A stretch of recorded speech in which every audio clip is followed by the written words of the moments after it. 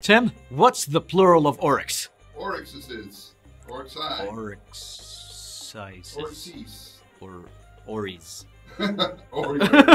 Oreos. Explore, experience, and enjoy Sealine in a blend of traditional Arabian design and modern comfort. Create your memories in the desert and choose your package today at www.regencysealinecamp.com.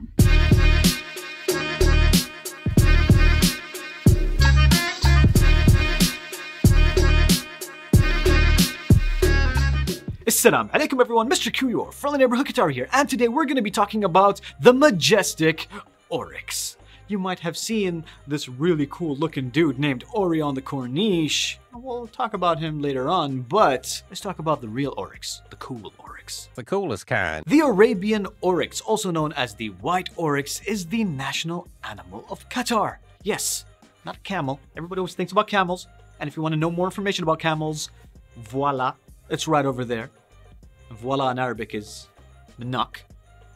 Over there. Here, camel, camel. An oryx is not a deer, it is not a horse, it is not its own species, but it is a variation of the antelope.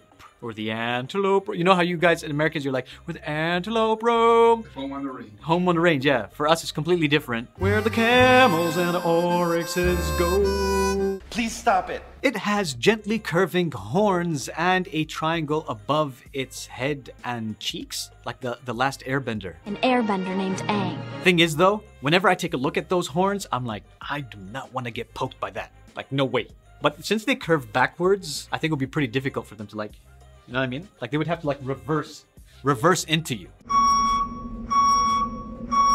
In the 1970s, the oryx was near extinction. However, in the 1980s, thanks to a great number of individuals and efforts, they are now considered nearly vulnerable. So it's still not that great, but better than before.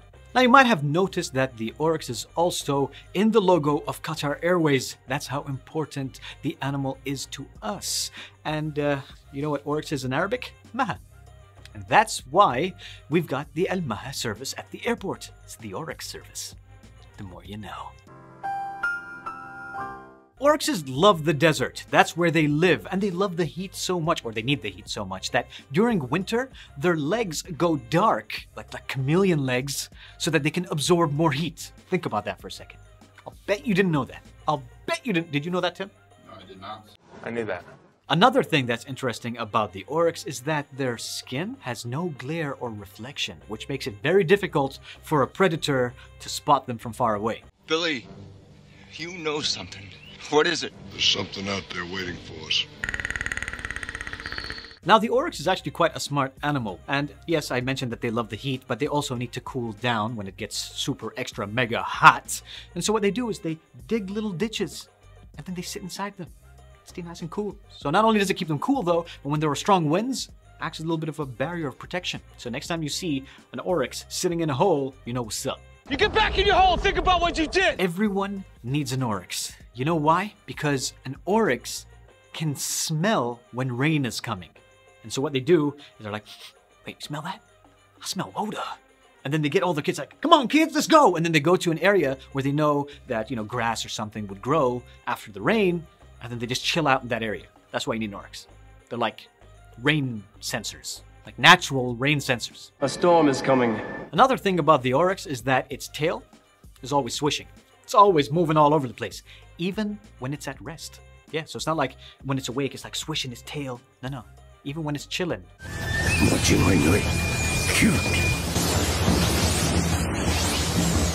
In 2006, that's when we got Orry the Oryx and that sculpture specifically for the Asian Games. And now we have it on the Corniche for everybody to go and enjoy and to go take a selfie with. Take a selfie. So if you're interested in going and taking a look at a real live oryx, where you go to is the Al Khor Family Park and Zoo, the Shu'aa Reserve, which is also located in Al Khor, the Dosari Park and Nature Reserve, which has various types of oryx that you can take a look at. That's at Shahaniya. Then you've got Al Maha Sanctuary, and that's where the oryxes are bred.